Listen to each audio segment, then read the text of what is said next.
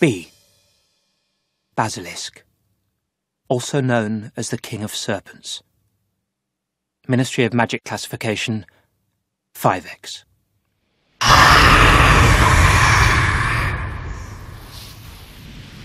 The first recorded basilisk was bred by Herpo the Foul, a Greek dark wizard and Parselmouth who discovered after much experimentation that a chicken egg hatched beneath a toad would produce a gigantic serpent possessed of extraordinarily dangerous powers.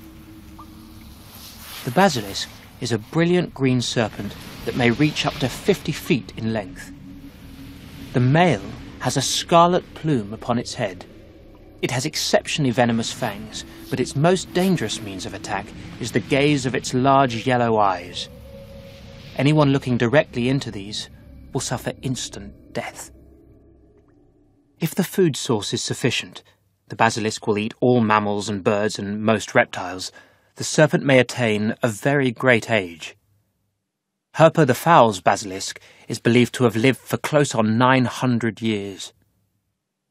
The creation of basilisks has been illegal since medieval times, although the practice is easily concealed by simply removing the chicken egg from beneath the toad when the Department for the Regulation and Control of Magical Creatures comes to call.